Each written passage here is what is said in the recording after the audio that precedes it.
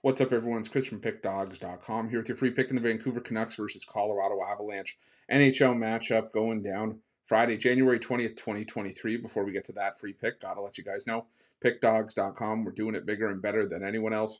Got more free pick videos on our channel than you'll find anywhere else on YouTube, so make sure you're subscribed and also take advantage of our free sportsbook bonus offer. The link in the description of this video below. But let's get to this one between the Vancouver Canucks and the Colorado Avalanche and the Vancouver Canucks coming into this game with a record of 18 23 and 3 on the year after a 5 to 2 loss at home to the Tampa Bay Lightning last time out, their eighth loss in their last 10 games. Meanwhile, the Colorado Avalanche on a three game win streak after a 4 to 1 victory over the Calgary Flames in their last matchup. And now the, the Canucks, you know, a home underdog in this spot. And, you know, the Vancouver Canucks have had some recent success against uh, the Colorado Avalanche. Vancouver's won both meetings this season and have won three straight against the Avs going back to March of last year. And give the give the Vancouver Canucks credit where it's due. I mean, they've taken it to the defending champions.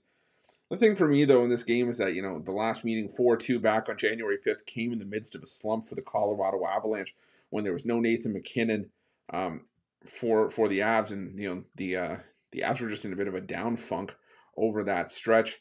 And you know, the thing about Colorado is that they've started to really sort of flip the switch. They've been able to get back on track here. And like I said, they've been, you know, just I don't want to say unstoppable, but it's looked that way over the course of this three-game win streak, outscoring Detroit, Calgary, and Ottawa by a combined score of 17 to 4. And this is the Colorado team that I think a lot of folks expected to see uh, you know, coming into this you know, coming into this season and maybe, you know, coming out of that that funk that they were in. Like I said, they finally flipped the switch against Ottawa and now look like a team on a mission, if we're being completely honest.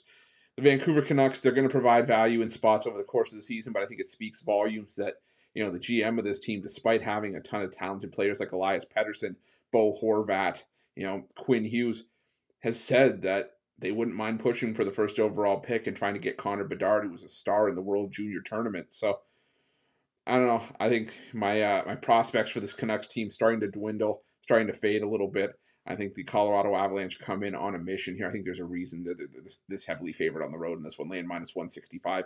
But all things considered, minus 165, not a terrible price, kind of on the edge of where I'm willing to lay juice. So I'm going to take the Colorado Avalanche in this one on the money line, lay the minus 165, and that's going to be my free pick. But if you're looking for best bets for myself or any of our other world class handicappers, check out pickdawgz.com. Click the premium picks tab at the top of the page. And remember to use the promo code PICK, P I C K, all one word, all lowercase, for 15% off your purchase of $25 or more. And while you're at Pick Dawgz, make sure you check out our betting tools, the best betting tools in the business, and tools that you'll want to make sure that you have in your back pocket when you're making your best bets for the day's action. Thanks for watching. Don't forget to subscribe and drop a like. Let's cash some winners.